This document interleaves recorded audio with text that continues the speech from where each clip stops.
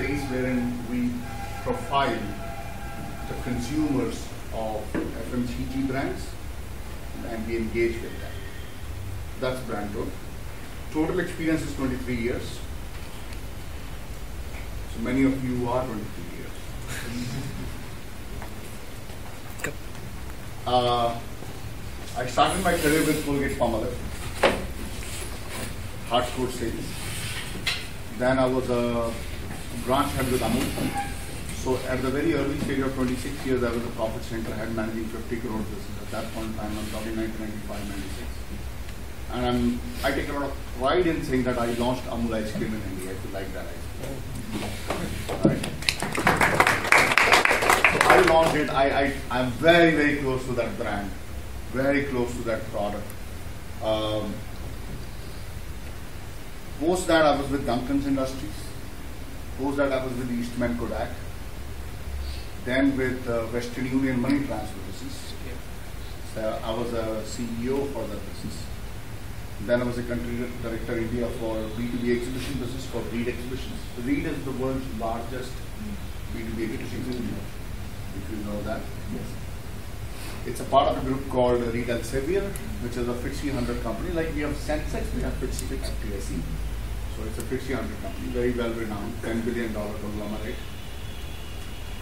And then, so Reed was a startup in India.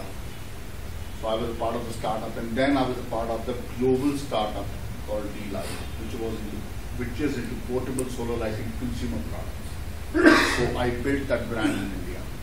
Uh, so if you see that journey of 23 years, the journey is more around sales, marketing, business development, business modeling, MNC, private, cooperative, rural, urban, India, international, consumer products and services. So that's the total when you when you when you draw a circle. So that's the that's what is embedded into that circle. So let's straight away. First of all, this is no Gyan session, right? There's no Gyan in here.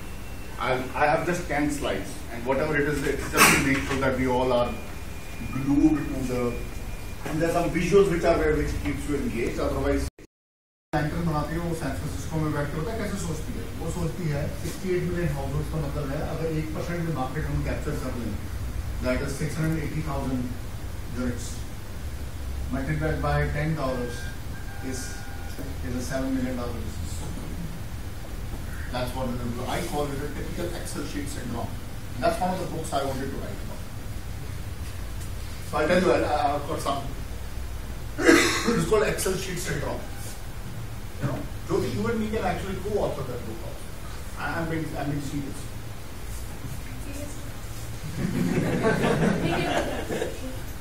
So I always tell them when I when, when people talk like this in Excel sheets, not getting the reality कि गाँव में जा करके देखो, एक भी बंदे को लैंटर्न बेच करके दिखाओ, फिर पता लगेगा कि कैसे lantern right and that's why I give them the onion analogy alright what is India is like an onion